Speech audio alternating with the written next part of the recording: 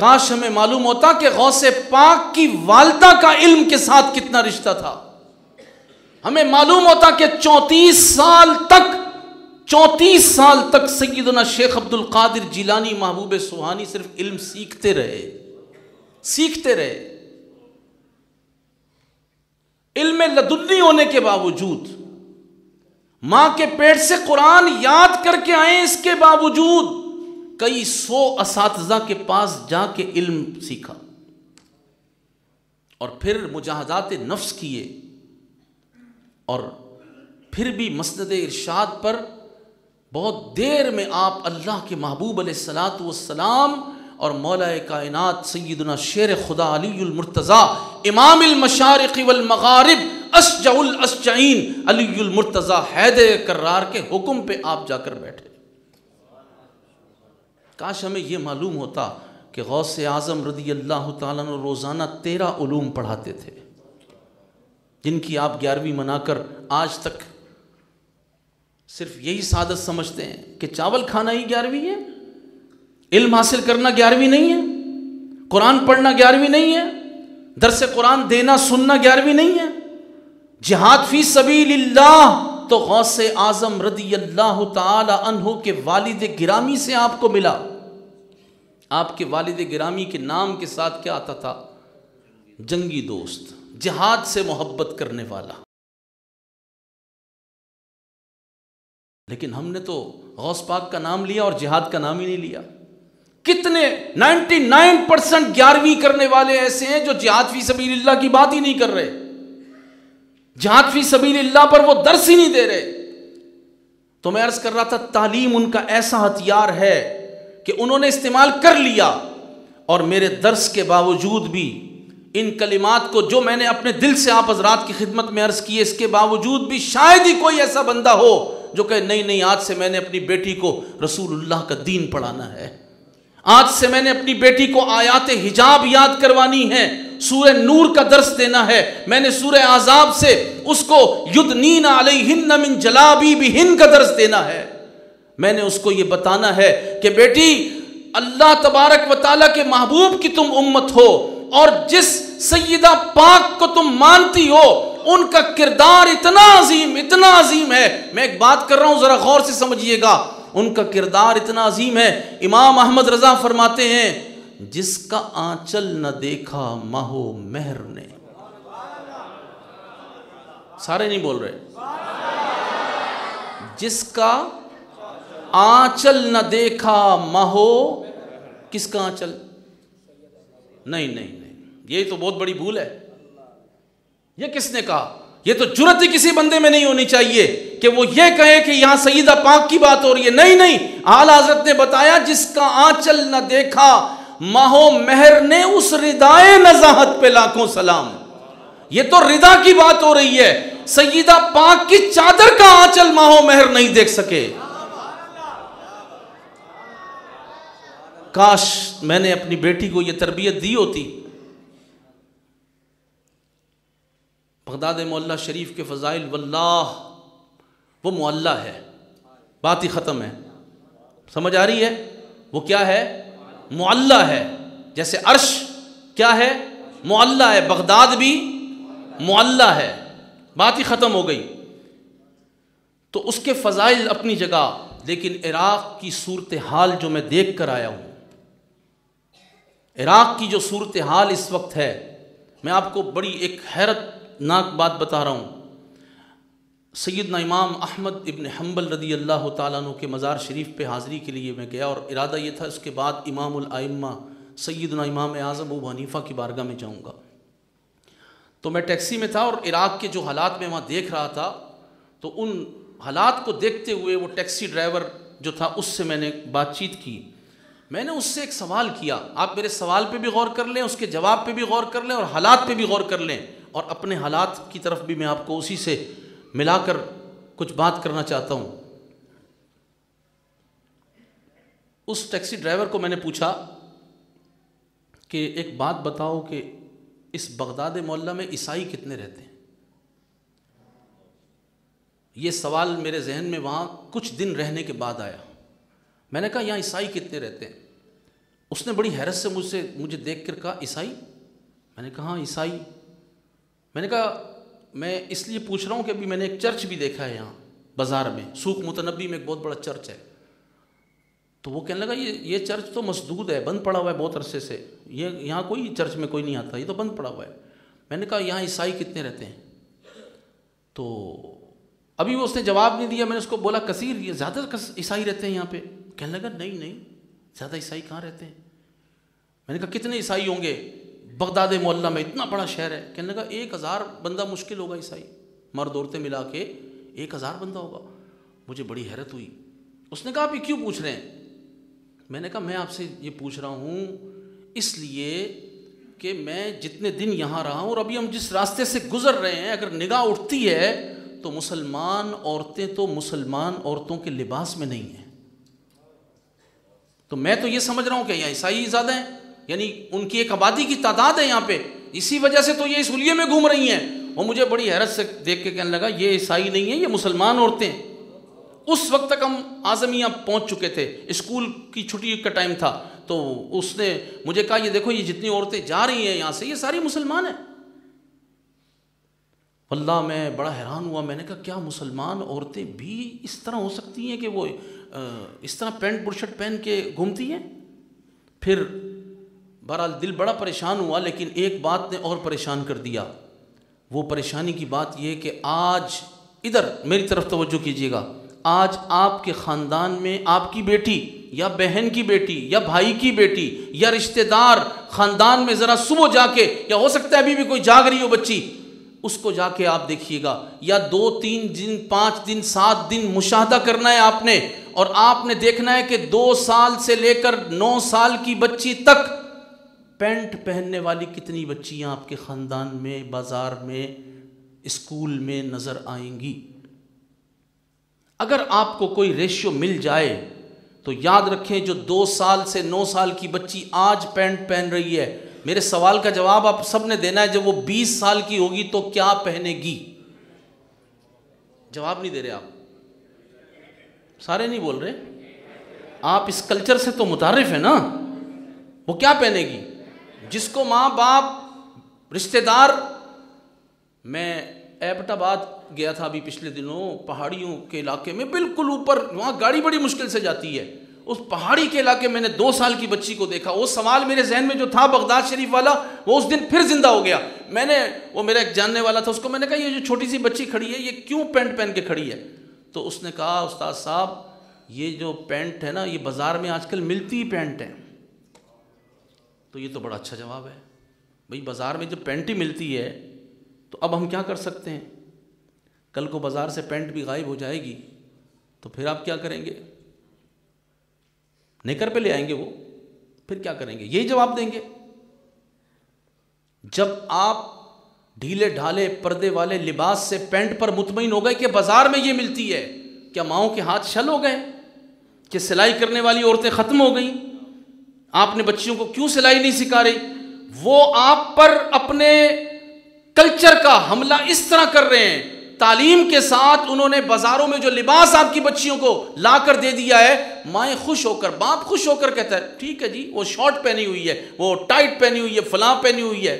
मैं वो लफ्ज़ अगर कहूँ तो मेरी ज़बान जलती है, लेकिन हकीकत यही है कि हम खुद उनको ऐसा घिनौना लिबास पहन रहे, पहना रहे हैं, ऐसा लिबास पहना रहे हैं।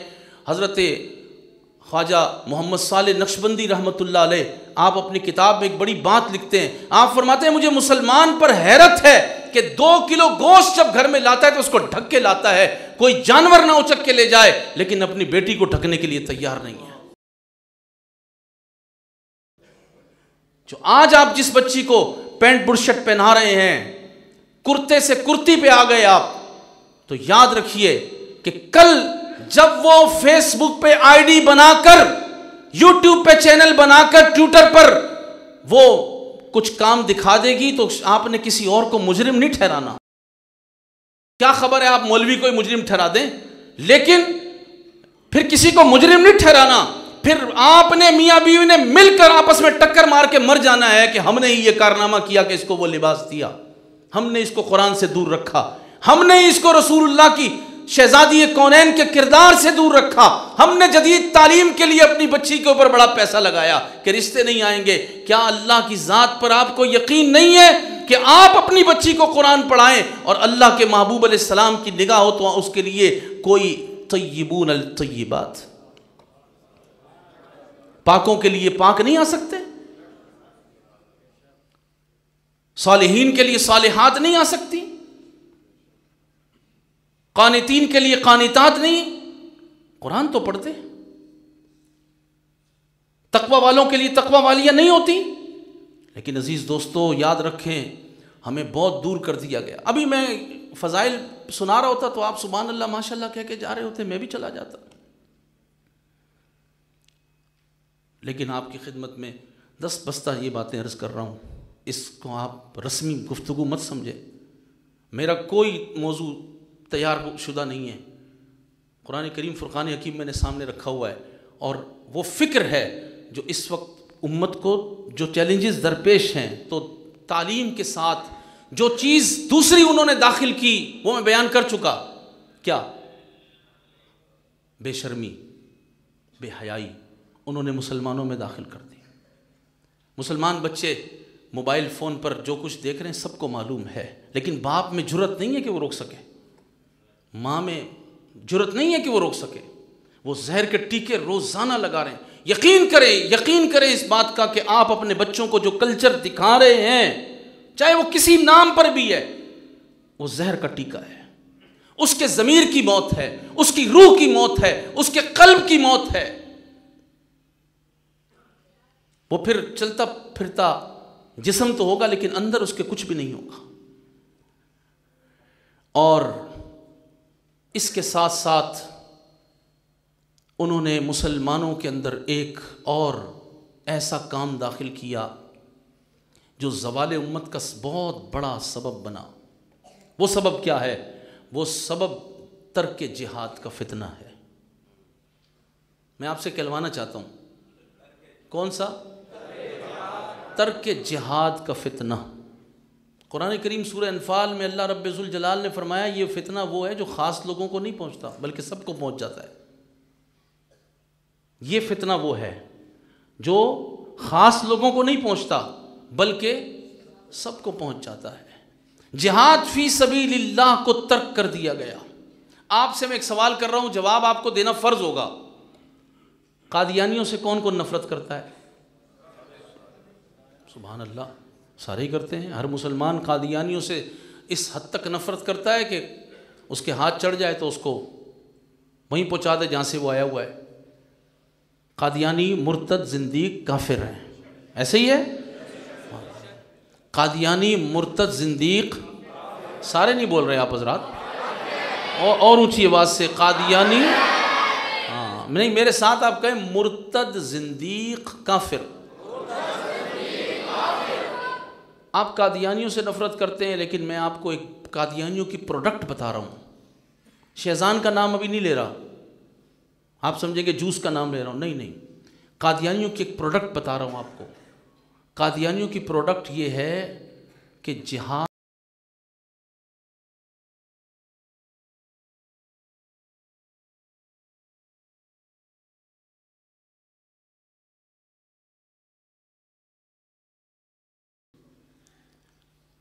और ये कादियानियों की प्रोडक्ट किसने उनसे बनवाई? पीछे कौन है? पीछे यहूदी हैं। पीछे नसारा हैं। पीछे सारी इस्लाम दुश्मन कुव्वतें खड़ी हुई हैं। उन्होंने कादियानियों को तैयार करके कहा कि आप ये फतवा दो। मिर्ज़ा गुलाम कादियानी को कहा कि तुम लिख दो। उसने लिख दिया। अब मिर्ज़ा को तो लोगों ने काफिर ज़िंदगी मुर्तद समझ लिया। उससे नफरत करने लगे। लेकिन यह बात तो तय है कि उसने अपनी किताब में लिख दिया। अब उन्होंने फिर देखा कि मिर्ज़ा वाली दाल तो हमारी गली नहीं, क्योंकि पीर मेर अली शाह साहब आ गए। इमाम अहल सुन्नत पाँच किताबें लेकर आ गए। कादियानियों की जो प्रोडक्ट थी, वो चल नहीं पाई। उसका ये फतवा अभी आम नहीं हो पाया। प्रोडक्ट उसकी है। ये तो चल नहीं पाई। अब क्या करें? उसने फिर और कोशिश की। और कोशिश करके उसने फिर जिहाद के तर्क का फितना उम्मत मुस्लिमा में दाखिल करने के लिए तालीम का भी सहारा लिया, मीडिया का भी सहारा लिया, मिंबर का भी सहारा लिया, महराब का भी सहारा लिया, आस्थानों का भी सहारा लिया, पीरों का सहारा लिया, महाफिल का सहारा लिया और इदारों का सहारा लिया, एजेंसीज का सहारा लिया और यहूद नसारा ने अपने एजेंट्स मुख्तलिफ़ प्लेटफॉर्म पे बिठा दिए और उनको ये बता दिया कि तुमने जिहाद फ़ी सबीलिल्लाह की बात जो करे, बस उसके खिलाफ तुमने काम करना है। एक और प्रोडक्ट। यहूद नसारा की एक और प्रोडक्ट। इनके चाल, अगर कोई बंदा इस वक्त शूर की आँख खोले बैठा है तो वो बहुत दूर पहुँच चुका होगा। और सोच, अगर उसकी ज़िंदा है तो वो समझ रहा होगा कि मैं कहाँ तक उसको लेके जा रहा हूँ। उसने सिर्फ़ ये नहीं किया, बल्कि उसने एक और प्रोडक्ट लॉन्च की। और वो प्रोडक्ट ये थी कि वो जिहाद के नाम पर ही मुसलमानों में उतर गए। उन्होंने कहा, हम जिहाद करने वाले लोग हैं। हम कश्मीर के लिए जिहाद फंड इकट्ठा करेंगे, खून की बोतलें इकट्ठी करेंगे। मुसलमानों को चाहिए कि वो जिहाद के लिए हमें अपने बच्चे देना शुरू कर दें। और वो यहाँ से जिहाद के नाम पर उनको ले जा रहे थे, जो मिलाद भी मनाते थे। उर्स भी मनाते थे। रसूल करीम सलात सलाम के नाम पर अंगूठे भी चूमते थे। उनको वो ले गए जिहाद के नाम पर, कश्मीर आज़ाद करवाने। नाइन्टीज़ की बात कर रहा हूँ। उनको ले गए और वहाँ ले जाकर उन्हें कहा कि ये रसूलुल्लाह की तज़ीम, तोक़ीर, अदब, तकरीम, ये अलिया की मोहब्बतें, ये कुछ नहीं है। जो अकीदा हम पढ़ा रहे हैं, वो पढ़ो, वो मानो। उन बच्चों ने कहा, नहीं नहीं, ये तो हमने अपने माँ बाप पर दादा दादा से सीखा हुआ है। हम तो पैदा ही मिलाद बनाते हुए हैं। उन्होंने कहा, सोच लो, ये अकीदा मानो। दलाइल से कोशिश की, शैतान ने जिसको बहकाया, वो वापस आया तो उसने भी दो फुट की दाढ़ी रखी हुई थी। समझ आ रही है बात आपको? नहीं आ रही। समझ आ रही है? उसके भी पांचे ऊपर जा रहे थे और वो भी आके कह रहा था, ये भी मुशरक, वो भी मुशरक, ये भी मुशरक, वो भी मुशरक। जो नहीं माना, उसको कहा, ठीक है, इसको कश्मीर का बॉर्डर पार कराओ। हिंदुओं की गोली से ये मर जाए तो यहाँ पैगाम दे दो, गायबाना नमाज़ जनाजा पढ़ लो। मुशरक के हाथों मुशरक मारा गया। मुशरक के हाथों मुशरक मारा गया। हमें भी मुशरक, वो भी मुशरक, हिंदू भी, बराबर जानते थे और हमारे मुसलमान बच्चों को शहीद करा दिया। ये भी एक वो प्रोडक्ट थी जिसने अमेरिका से पैसा लेकर जिहाद रशिया से पैसा लेके जिहाद, बरतानिया से पैसा लेके जिहाद, वो जिहाद को बदनाम करने के लिए जिहादियों के रूप में आए। लेकिन यहाँ एक कसूर हमारा भी था कि हमने अपने लोगों को चादरें चढ़ाने पे लगाया। अरे क्या बात है, दाता साहब की चादर, बाबा फरीद की चादर, लाल शहबाज कलंदर की चादर, गौसे आज़म के दरबार की चादर, क्या बात है। हमारी महफिल में तो रंग लग गए, हमारे घर में तो सादतें आ गई वल्ला आ गई। लेकिन ये बताओ कि मेहराब मिंबर से जिहाद फ़ी सभी सबीलिल्लाह की आयात क्यों नहीं पढ़ के सुनाई? ये क्यों नहीं बताया कि कुरान में एक सूरत है, उसका नाम सूर किताल है? क्या नाम है? भाई, मैंने तो सूरतें सारी ढूंढी हैं। मौलाना साहब, ये मैंने तो नहीं देखा। कि सूर्य किताल नाम की कोई सूरत हो, आपको इसलिए नज़र नहीं आई कि ऊपर तो वाकई नहीं लिखा हुआ, लेकिन अगर आप कुरान के इल्म में थोड़ी सी गहराई हासिल करने की कोशिश करते तो मुफसरीन ने फरमाया, रसूलुल्लाह के नाम पे जो सूरत सूरह मोहम्मद है, सल्लल्लाहु अलैहि वसल्लम, इसका एक नाम सूरह किताल भी है। और वो सूरह किताल, उसी की एक आयत करीमा मैंने आप हजरात के सामने तिलावत की है। आए सुने कि कुरान करीम, फुरकान हकीम क्या फरमा रहा है? जिहाद फ़ी सबीलिल्लाह, मुसलमानों को करना है तो कैसे करना है? लेकिन मेरी आवाज़ कहाँ तक जाएगी? मेरी आवाज़ कहाँ तक जा सकती है? आप हजरात के कानों तक तो मैं पहुँचा रहा हूँ। कोई कोई दिल में भी जगह दे देगा। लेकिन मैं हाफिज़ आसिम मुनीर के कान में तो ये कुरान की आयत नहीं पढ़ सकता। मैं मोहम्मद बिन सलमान के कान में भी नहीं पढ़ सकता। और काकड़ के कान में भी नहीं पढ़ सकता। मैं मुस्लिम उम्मा के जो हुक्मरान हैं, उनके कानों तक कुरान नहीं पहुँचा सकता। हालाँकि उनमें एक ऐसा भी शख्स है जिसके सीने में भी कुरान कहा जाता है, लेकिन उसको याद नहीं है कि कुरान करीम, फुरकान हकीम जब गजा के बच्चों पर और गजा की माओ पर इसराइली फायरिंग करते हैं तो पता क्या कहते हैं? वो बच्चों से ज़्यादा औरतों को मारते हैं। सिर्फ़ औरतों को नहीं, वो चुनकर हामिला औरतों को निशाना बनाते हुए कहते हैं कि एक ऐसी गोली चलाओ जिससे माँ भी मर जाए, उसके पेट में मुसलमान पैदा होने वाला बच्चा भी मर जाए।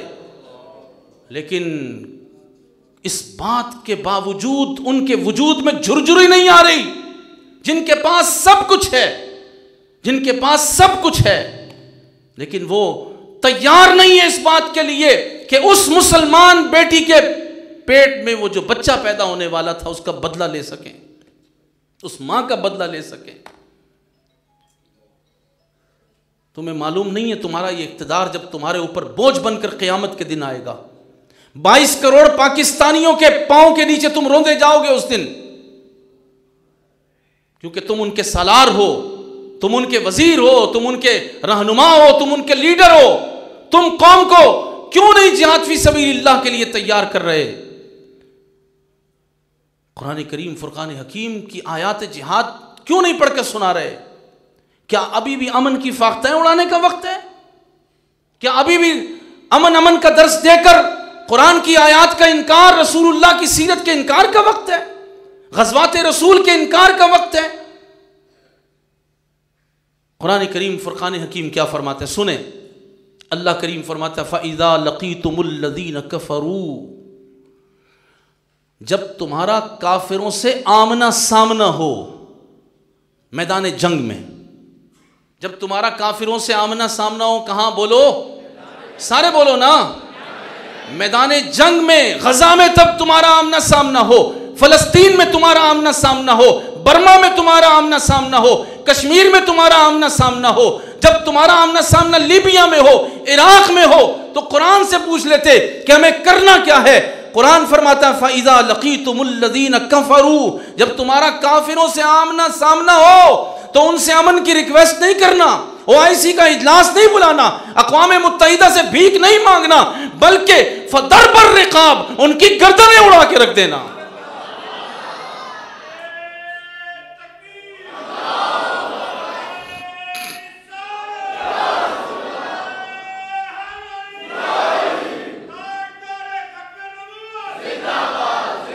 और सिर्फ़ इतना नहीं। सुने।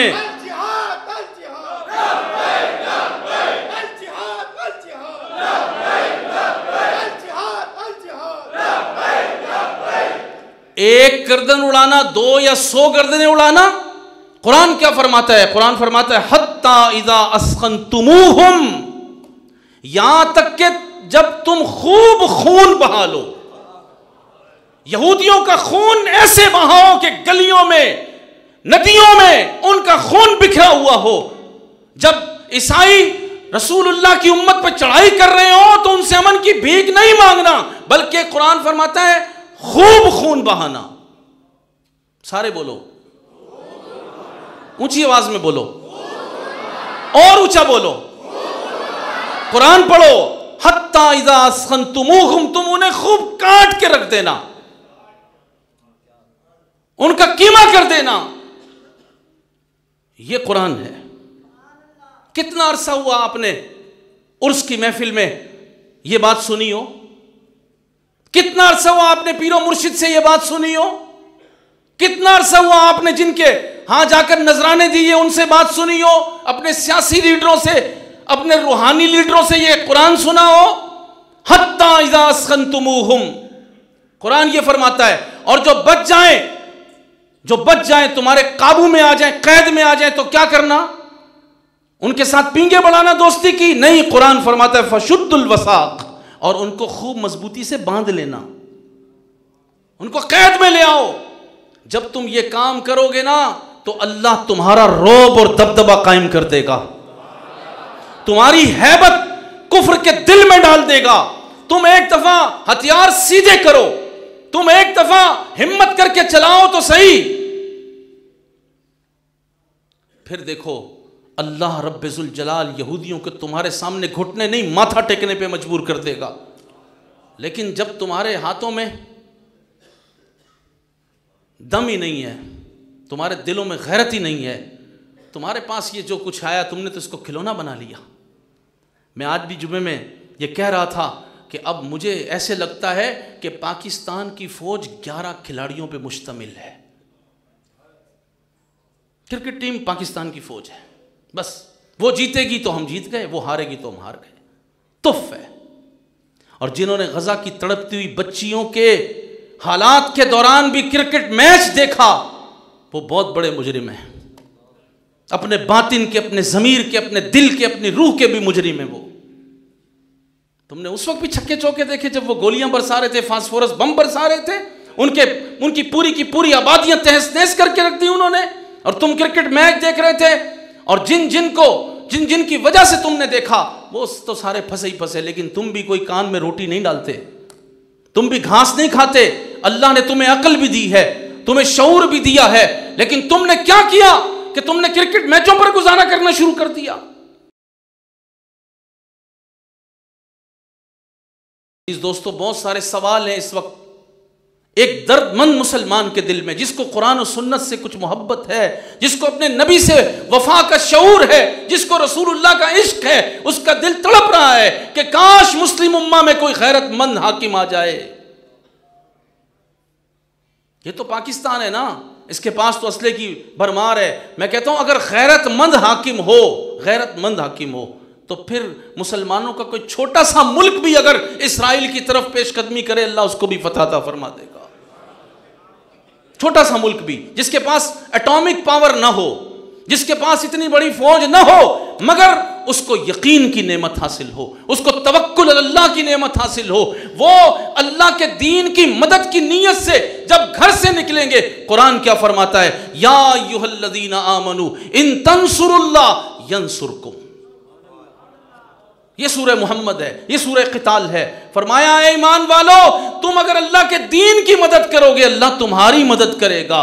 और वह युसबित अकदाम कुम और अल्लाह तुम्हारे पाओ को जमा देगा। मैदान जंग में वो फरिश्ते उतार कर तुम्हें साबित कदमी अता फरमा देगा। तुम चलो तो सही, तुम चलो तो सही। कौन लेके जाएगा? वो जिनके पास गैरत हमीयत नहीं है। वो अनाज उगाने की फ़िक्र में है कि पाकिस्तान का कर्जा उधर जाएगा। अगर हमने एग्रीकल्चर पाकिस्तान को तरक्की दे दी, एग्रीकल्चर की बात बाद में पहले खून की जो होलियाँ खेल रहे हैं, उनसे तो निपटो। मुसलमानों का रिस्क तो तलवारों के साय में है। मुसलमानों का रिस्क, आप कहेंगे, जनाब, ये कैसी बात कर दी आपने? सबील्लाह के लिए उठ जाते हैं। अल्लाह ताला उसको रिस्क बहुत बरकत वाला अता फरमाते एक मिसाल मैं आपको दे दूँ इसकी। मुसलमान जब बदर में गए और फिर तबूक में गए, आखिरी गजबा हजूर सलाम का, और फिर खलफा राशिदीन का दौर, आप मुसलमानों में रिज्क की रफ्तार देख लें, किस तरह रिज्क अल्लाह उनको अता फरमा रहा था। माल गनीमत बदर में भी आया, माल गनीमत ओहद में भी आया, अहजाब में भी आया, तबूक में भी आया बगैर जंग के पचास रातें हजूर ने क्याम फरमाया तबूक में, बगैर जंग के अल्लाह ताला ने रूमियों के दिलों में मुसलमानों का रोबो दबदबा डाल दिया। लेकिन मेरे दोस्तों, काश हमने इस तालीम की जगह अपने बच्चों को कुरान पढ़ाया होता, रसूलुल्लाह की हदीस पढ़ाई होती, बिलखसूस बिलखसूस बिलखसूस। हमने जिनके हाथों में हाथ देकर गौस आज़म के हाथ में हाथ दिया है। हम कादरी हैं, नक्शबंदी हैं, चिश्ती हैं, सौरवर्दी हैं, रिफाई हैं, शाजली हैं, शराजी हैं, जो भी सिलसिले से बैत हैं। लेकिन काश हमें वहाँ से जिहाद फ़ी सबील्लाह का दर्स भी सुनाया गया होता। अगर आज भी कोई आस्ताना रसूलुल्लाह की जिहाद की बात नहीं कर रहा, आप उसको आस्ताना मानिए। मेरा ज़मीर मुतमिन नहीं है। मुझे इस बात में तहफ़ात हैं कि मैं उसको आस्ताना मानने को तैयार नहीं हूँ, क्योंकि आस्ताना तो रसूलुल्लाह का सबसे बड़ा आस्ताना है। मैं उस मिंबर को मिंबर मानने को तैयार नहीं हूँ कि मिंबर तो सबसे बड़ा रसूलुल्लाह का है। मैं उस महराब को महराब मानने को तैयार नहीं हूँ, सबसे बड़ा महराब तो रसूलुल्लाह का है। हजूर के मिंबर से तो जिहाद का खुतबा पढ़ा जाता था। नबी पाक सलाम ने तो फरमाया, जब तुम जिहाद को तर्क कर दोगे, अल्लाह तुम पर जिल्लत मुसलत कर देगा। बोले, हम पर क्या मुसलत है? रहमत? इज़्ज़त? हम पर क्या मुसलत है? हम पर दुनिया के जलील तरीन लोग हाकिम हैं। हमारा सिस्टम उनके हाथ में है, हमारी मीशत उनके हाथ में है, हमारी तालीम उनके हाथ में है, हमारा निज़ाम उनके हाथ में है। अगर हमारा निज़ाम रसूलुल्लाह के दीन के हाथ में होता तो कसम ब खुदा, ये तो गजा की चौदह हज़ार, जाने हैं ना, ये तो गजा की वो बेटियाँ जो अभी नन्नी नन्नी है, उनके वजूद बाप की गोद में दम तोड़ रहे हैं। उनके लहू को अगर आप देखें तो और ये भी मैं आपको बता दूँ, वहाँ साहबा की औलादे रहती हैं। वहाँ सत्तर साल की बूढ़ी भी हाफिज कुरान है। ये तो गजा की बच्चियाँ हैं। इतनी बड़ी शहादतें हो गई।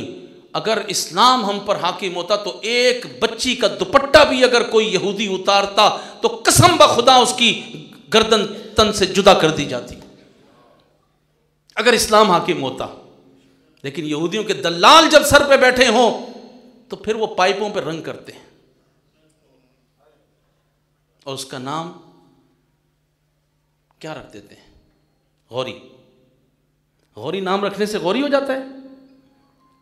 गौरी की गैरत होती है तो गौरी होता है। शाहीन की परवाज हो तो शाहीन होता है। अल खालिद की हमीयत हो तो अल खालिद होता है। नहीं समझ रहे शायद आप? नसर जो कुरान ने भी फरमाया, इन तंसुरुल्लाह नसर कुरान से ली हो तो नसर होता है। ये याद रखें कि हमें बहुत बड़ी भूल भलैयों में दाखिल कर दिया गया है और हमें एक चक्कर में लगाया गया है। बस मीशत मीशत मीशत मीशत। क्या खा के आए आप? मुझे पता है। क्या है हमारे पेट में? पता है किसी को? यह है मीशत। और ये याद रखें, ये जो भीख उम्मत मांग रही है इस वक्त, ये जो भीख मांग रही है, इस भीख का इलाज भी जिहाद फ़ी सबीलिल्लाह है। तलवार उठेगी तो भीख खत्म होगी। मैं तो बहुत बड़ी बात नहीं करता। अमीरुल मुजाहिदीन ने अपनी ज़िंदगी में जिहाद फ़ी सबीलिल्लाह ही की बात की।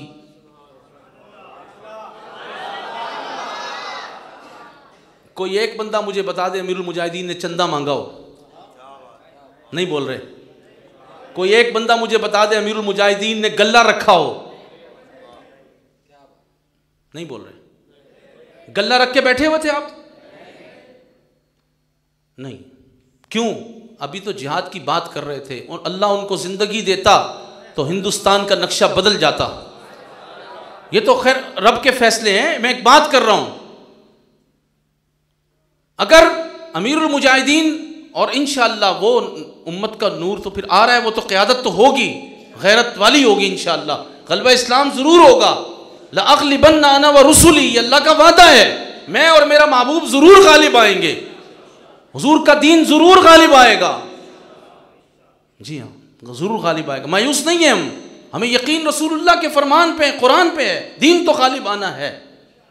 लेकिन अज़ीज़ दोस्तों, मैं कह रहा हूँ कि मीशत का मसला हल करना है तो जिहाद फ़ी सबील्ला की बात तो शुरू करो। बात शुरू करो सिर्फ़। दरस कुरान तो दो दरस हदीस तो दो, उठो तो सही।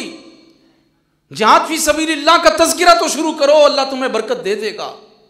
हो सकता है तुम्हारे बच्चों में से कोई सलार पैदा हो ही जाए। बस, मैं अपनी गुफ्तु को अख्ताम की तरफ़ ला रहा हूँ। देखें, मदीन पाक के फ़जाइल, आप आप ये तारुफ हाजी हुए साहब कह रहा है जी, मदीन पाक से आए मैं आपको मदीन पाक ले जाता हूँ दोबारा। तस्वुर में नहीं, हकीकत में। चलने आप जब मदीने पाक जाएँ, जिस हस्ती का ज़िक्र कर रहे थे सैदुलशहदा अमीर तयबा फ़ाइल खैरात काशिफुल कुरबात असदुल्ला व रसूल ही जिन आसमान के मलाइका भी हजूर को आके अर्ज़ करते हैं, या रसूल अल्लाह सैदना हमज़ा, आसमानों में भी असदुल्ला व रसूल ही मशहूर। वो कुतब मदीना हैं।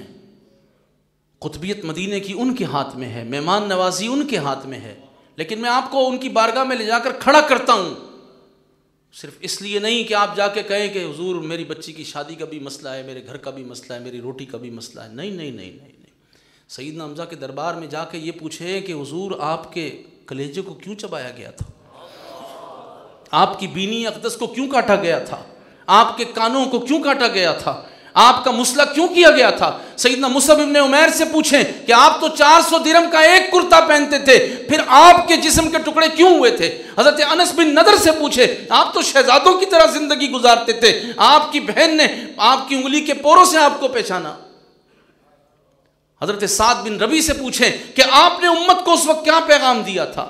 हज़रत सईदना हंजला से पूछें कि आप तो पहली रात के दूल्हा थे, गसीरुल मलाइका कैसे बने थे?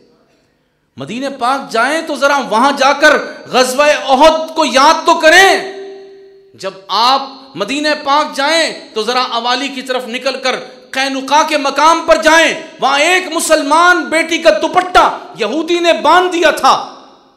और वो दुपट्टा उतरने पर यहूदी हंस रहे थे। सईदना अब्दुलरहमान इबन औफ ने उस यहूदी का सरतन से जुदा कर दिया। और खुद रसूलुल्लाह कैनुका के यहूदियों से जंग करने के लिए तशरीफ़ ले आए। आप थोड़ा कुबा शरीफ से थोड़ा आधा किलोमीटर आगे जाकर आप बनी नज़ीर के कबीले की वो जगह तो देखें, जहाँ रसूल करीम सलाम ने यहूदियों को मदीना बदर करने का हुक्म दिया था। आप जरा बनी कुरैजा जाकर उस जगह को देखें तो सही, जहाँ रसूलुल्लाह ने उनका मुहासरा कर लिया और फिर हज़रत साद इब्ने मुआज के फैसले पर एक दिन में सात सौ यहूदियों को रसूलुल्लाह ने कत्ल करवा के उनको ज़मीन में गाड़ दिया था।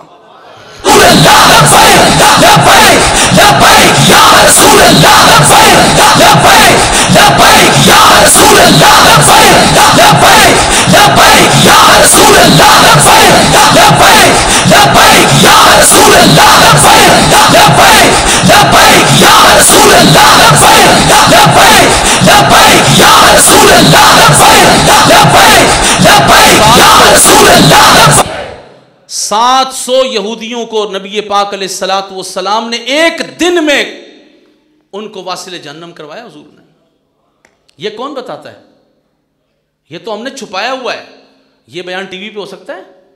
यह बयान मीडिया पे हो सकता है? तो मीडिया से नहीं होगा तो दीन कैसे फैलेगा?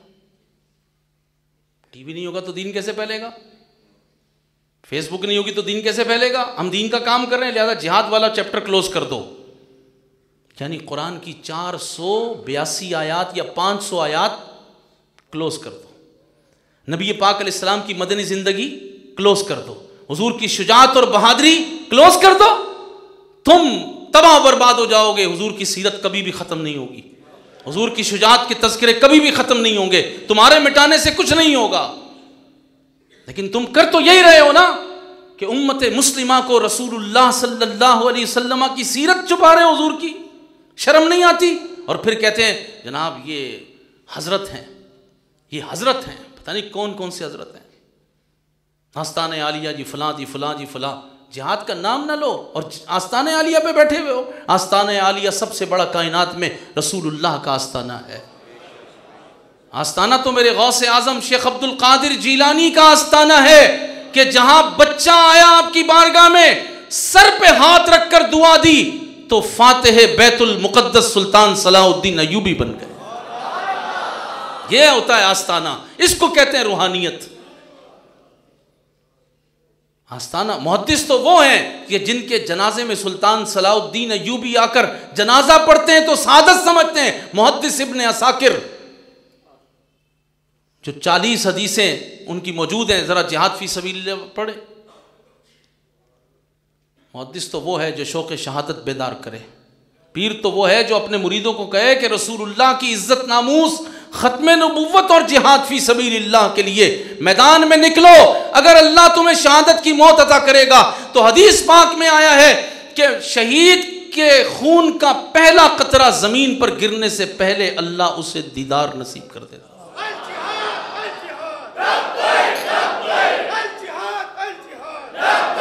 और आप सैदुशहदा कहते हैं। क्या कहते हैं सारे बोलो? मदीने में कौन है? सारे ऊँची आवाज़ में नाम ले लो।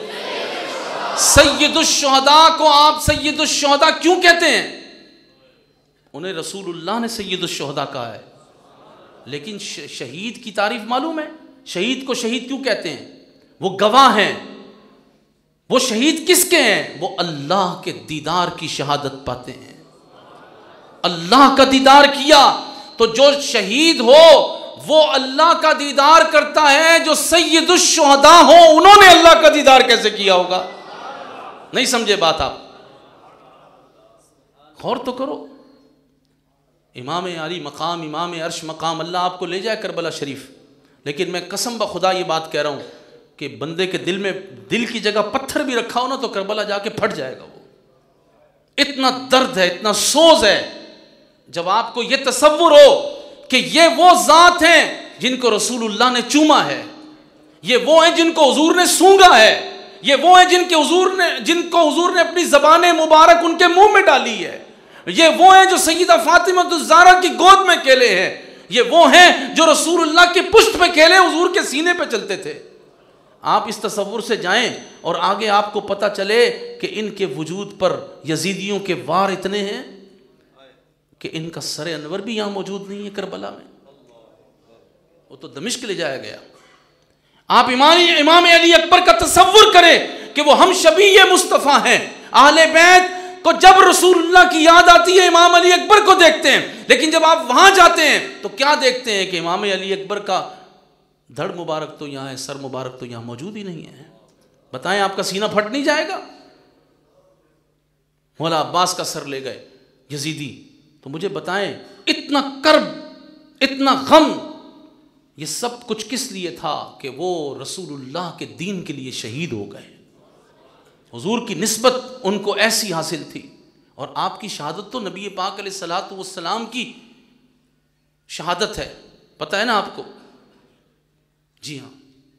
तो अज़ीज़ दोस्तों, बात ये कर रहा हूँ कि खुदारा अब बहुत हो गई है। आप अपने पीर साहब, अपने इमाम साहब, अपने ख़तीब साहब बानी महफ़िल, नकीब महफ़िल, नात खानान हजरात, कुर्रा हजरात, सबसे कहो कि भाई, हर सूरत में जिहाद फ़ी सभी की बात करो। सुबह अल्लाह बेशक, बस मैं आपसे पूछ रहा हूँ, कोई बंदा है आप में जो अपने पीरो मुर्शिद को जाके गुजारिश करेगा? हज़रत साहब, हुजूर, किबला, काबा बात समझ रहे हैं? हज़रत, मेरी, मेरे बाप का सोयम है, लेकिन मुझे जिहाद की आयात सुना दे। है कोई अरज पूछ रहा हूँ आपसे।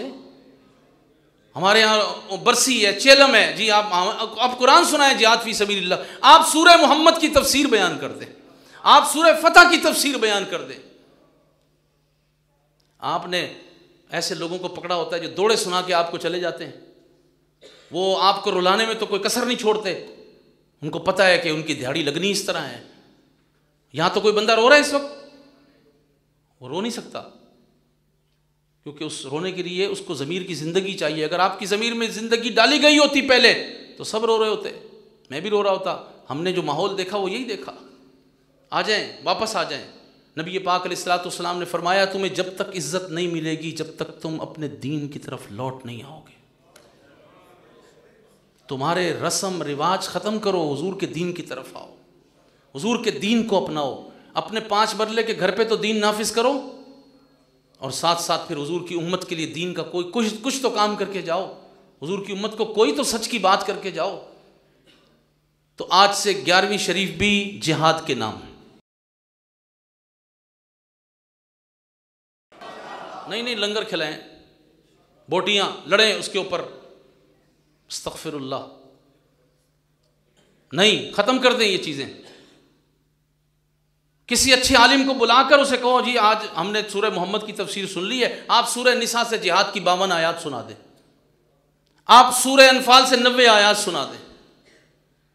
आप सूर्य तोबा खोल लें, हमें गजब तबूक सुना दें गजब हुनैन सुना दें। आप इक्कीसवां पारा खोल के, आखिरी सफ़ा खोल के हमें गजब आज़ाब सुना दें। चार सौ बयासी आयात का दर्स होते होते सालों गुजर जाएँगे आपके। गजबात रसूल बयान करते करते, कसम ब खुदा, ऐसी लज्जत ऐसी लज्जत आपको मिलेगी, ज़िंदगी का सुरूर आ जाएगा अगर आपने हजूर की सीरत को पढ़ लिया। आपने हजूर की सीरत को बयान कर दिया। अल्लाह ताला मुझे भी अमल की तोफ़ी दे, आपको भी अमल की तोफ़ी दे। इस मस्जिद को अल्लाह शादो आबाद रखे, खाने वाल से अल्लाह मुस्लिम उम्मा के लिए सालार पैदा कर दे। गैरत हमीयत के शाहकार पैदा कर दे। अल्लाह करे कि यहाँ से कोई ऐसा रसूलुल्लाह का ग़ुलाम खड़ा हो जाए, आपकी नस्लों में ऐसे बच्चे पैदा हो जाएँ जो काफिरों की आँखों में आँखें डाल सकें, जो जालिमों की आँखों में आँखें डाल सकें, जो सऊद, यहूद, ईरान के उन मजूसियों को जिन्होंने धोखा किया गजा के साथ, फलस्तीन के साथ, उनको जाके झंझोड़ सकें कि तुम तो कहते थे कि हम अलकुद के साथ हैं, अब सारे राफजी कह रहे हैं कि अलकुद कचरे का ढेर है। अब वो कह रहे हैं कि ये तो कचरे का ढेर है, तुम्हें क्या ज़रूरत है कि तुम जो है अव्वल की बातें करो? हकीकत भी यही है कि वो जब रसूलुल्लाह के नहीं, वो जब सहाबा वाले बैत के नहीं, जो सिद्दीक अकबर का नहीं, उसको कबिल अव्वल से क्या गर्ज है? अब उनके चेहरे खुल रहे हैं। जिनके अकायद में इतना घिनावनापन है, मैं अगर आपके सामने बयान करूँ, आप कहें, मौलाना, आपने बयान क्यों कर दी ये बात? ये क्या बात कर गए आप हमारे सामने? हम हमें ना बताते आप उनके गंदे अकीदे, इतना घिनावनापन है उनके कायद में। वो अलकुद्स की बात करेंगे। अलकुद्स की बात वही करेगा जो नबी पाक सल्लल्लाहु अलैहि वसल्लमा आपके तमाम सहाबा और अहले बैत का गुलाम होगा। और इस दीन को ज़िंदगी वही देगा जो मुहिद्दीन सैदना शेख अब्दुल कादिर जिलानी का गुलाम होगा। और अमीरुल मुजाहिदीन आपको रास्ता बता गए हैं। वो आपको बहुत कुछ दे गए हैं। आपका शूर बेदार कर गए हैं। आपको एक प्लेटफॉर्म दे गए हैं कि दीन को तख्त पर लाने के लिए बातिल के सामने कोई दीवार तो खड़ी करो। अपना हिस्सा तो डालो, कुछ तो करो। अल्लाह ताला हमें हर फितने से बचाए, हमारी नस्लों को भी हर फितने से बचाए। तो आज जो बातें हमने की, खुलासा, फिर एक दफ़ा, आप तालीम चले, आप अगर नहीं मानते हमने तो अलहमदिल्ला माना और अपनी औलाद को दीन ही पढ़ाया तो अल्लाह ने दीन की बरकत से बहुत कुछ हमें अता कर दिया। दीन ही पढ़ाया अलहमदिल्ला। अल्लाह का शुक्र है, स्कूल के उस माहौल में नहीं डाला तो अल्लाह ने बहुत कुछ अता कर दिया। लेकिन आपसे गुजारिश कर रहा हूँ, चलो आप जदीद तालीम, ये भी मैं आपके ऊपर रख के कह रहा हूँ, मैं इसकी कोई ज़मानत नहीं दे रहा। अगर आप नहीं मानते तो जितना आप दुनिया पढ़ा रहे हैं उतना तो दीन पढ़ाएँगे। नहीं नहीं, जनाब, ये कैसे मुमकिन है? मेरा बच्चा नौकरी करेगा। आपका बच्चा नौकरी के लिए पैदा हुआ है? सवाल है मेरा। कारोबार करा लेना भाई। तिजारत करवा लेना उससे। समझ आ रही बात? एक बात तो ये कि आपने अपनी औलाद को दीन पढ़ाना है। सारे बोलो। सारे सारे। जो बे औलाद है, मैं दुआ करता हूँ, अल्लाह गौ से आज़म के सद के उन्हें बहुत खूबसूरत, सेहतमंद बेटा दे। सेहतमंद बेटियाँ दे, बेटे दे, और सारे आलिम हो, सारे हाफिज हों, सारे मुजाहिद हों। हाँ जी। बेटे हो तो वो हो ना। अच्छा दूसरी बात, आज से आपने अपनी बेटियों को और बहनों को, जोजा हैं तो उनको शरीयत के पर्दे का दर्स देना है। जिनके रिश्ते नहीं हुए, वो डिमांड करेंगे कि हमारी आने वाली घर वाली शरीयत का पर्दा करती हो। सुबह उठ के तहजद पढ़े, कुरान पढ़ती हो। बेनमाजी ना हो। ये डिमांड करनी है आपने। ठीक है? और आप अपनी बच्चियों के रिश्ते के लिए भी डिमांड करेंगे कि हमें वो चाहिए जो पक्का सुन्नी हो। समझ आ रही है? पक्का सुन्नी। पक्का सुन्नी समझते हैं? धुर धुर वालों की फहरिस्त में भी ना हो। समझ आ रही है? पक्का सुन्नी हो। और फिर वो दीन को समझने वाला हो दीन के मुताबिक ज़िंदगी गुजारने वाला हो। फिर उसके साथ साथ आपने एक बहुत बड़ा दीन का काम ये करना है कि आप अपने खानेवाल की जितनी मस्जिदें सब में जाएँ आइमा कराम से गुजारिश करें कि हज़रत अब जहाद फ़ी सबी का दर्स मस्जिद में शुरू करते हैं। कौन कौन गुजारिश करेगा? सिर्फ़ गुजारिश ही करोगे दर्स में भी जाओगे? हैं जी? जाओगे सारे दर्स में? ये फजर की नमाज़ के बाद तो अलहमदिल्ला यहाँ भी तफसील कुरान पाक का दर्स होता है, आप यहीं पर आ जाएँ। वहाँ भी, यहाँ भी। मौलाना उस्मान साहब यहाँ पे दर्स देते हैं इन ये आपको इन कुरान करीम अलहम से शुरू करेंगे और पाँच सौ आयात जिहाद की सुना देंगे। हजूर की सत्ताईस गजबात भी सुना देंगे, हजूर के सराया भी सुना देंगे। सौ जंगें भी बता देंगे। और इन खलफ़ राशिदीन की फतूहत भी बता देंगे। सईदना मीर माविया के दौर में मुस्लिम उम्मा को जो फतवाहत मिली, वो भी बता देंगे। सुल्तान सलाउद्दीन यूबी का किरदार भी बता देंगे इन ठीक है जनाब? इन ताला, जो गलती कोताही हमसे गुफ्तु में हो गई, अल्लाह ताला दरगुजर फरमा दे अपनी रहमत, अपने फजल करम से। और ये जो सिलसिले यहाँ शुरू हैं, ये जो आजी साहब ने बात की, मल्लम यशकुरन्नास लम यशकुरिल्ला ये सारा काम इन्हीं का है? गौस पाक की नज़र से। बात समझे? ये हमारे मौलाना उस्मान साहब, मौलाना सलान साहब, मौलाना अली जाज साहब ये बैठे हैं, मौलाना अनी साहब भी हमारे यहाँ एक हैं, फ़रहान साहब हैं, दीगर जो हमारे उलमा हैं, ये सारे अल्लाह ताला इनको दीन के काम की मज़ीद खलूस के साथ तोफ़ी मरहमत फरमाए। ये सब आप लोगों का ही है। ये मुफ्ती आज़म, हज़रत मौलाना मोहम्मद इशफाक रिजवी साहब की बरकत और करामत है। ये सैदना मुहदस आज़म पाकिस्तान की बरकत और करामत है। ये हज़रत मुफ्ती अबू दाऊद मोहम्मद सादिक रिजवी रहमत की बरकत और करामत है। ये उनकी बरकत है, हमारी क्या औकात है? हम तो बिल्कुल एक कीड़े की भी हैसियत नहीं रखते उनके सामने। ठीक है ना? ये ये अपना, जो भी कोई नेमत मिले, हमेशा अपने बड़ों की तरफ़ मंसूब करना सीखें। ये याद रखें, अल्लाह के फजल की तरफ़ मंसूब करें। ये सब अल्लाह के फजल करम से है। ठीक है? तो ये सिलसिले हैं, इनको आपने जारी रखना है। इन, इनको आपने बढ़ाना है। और लोगों को ये पैगाम पहुँचाना है कि, भाई ये काम करो तो बरकतें होंगी। देखे ना, जब इब्तदा हुई थी उस वक्त से लेके आज, माशाल्लाह, इतने सारे लोग जमा है ना तो आप इसको बढ़ाएँ इस सिलसिले को और साथ दें, मिलकर काम करें। अल्लाह ताला हमें आल सुन्नत व जमात की खिदमत करने की तोफ़ी दे। और एक दुआ अब आपने करनी है कि अल्लाह करे कि मदीन तय्यबा से, रसूलुल्लाह के मिंबर से बहुत जल्द जिहाद फ़ी सबील्ला का ऐलान हो जाए। यानी इन यहूदियों से हमारी जान छूट जाए। समझ आ रही है बात? इन यहूदियों से हमारी जान छूट जाए जो वहाँ काबिज़ हैं। बस फिर आप देखिए उम्मत का रंग बदल जाएगा। उम्मत के हालात बदल जाएँगे। वमा तोफ़ी अल्ला बिल्ला